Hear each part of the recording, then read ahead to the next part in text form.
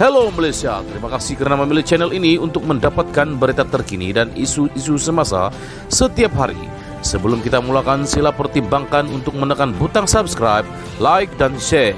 Aktifkan juga lonceng notification agar Anda tidak ketinggalan dengan video-video terkini daripada channel ini. Selamat petang, salam sejahtera. Berita terkini dipetik daripada inforakyat.net bertajuk Pemimpin DAP salahkan Cintong kerana yakinkan parti supaya percayakan Muhyiddin.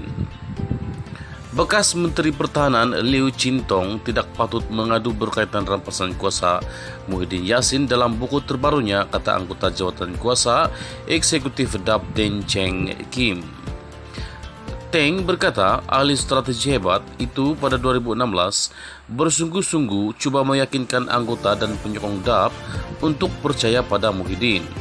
Bahkan, kata Teng, Liu membawa Muhyiddin ke pemukiman parti dan tidak mau isu seperti sijil pendidikan bersepadu UEC sekolah Cina dibangkitkan supaya Muhyiddin tidak tersinggung. Hari ini, dia beritahu Muhyiddin orang jahat sejak 2016 sindir Teng. Kamu yang tawarkan diri untuk diperbodohkan oleh Muhyiddin tak perlu nak mengacum sekarang, kata Teng lagi. Teng merujuk kepada buku baru Liu bertajuk Lim Kit Siang, Patriot Leader Fighter yang antaranya berkata Muhyiddin menjadi Perdana Menteri bukan secara kebetulan.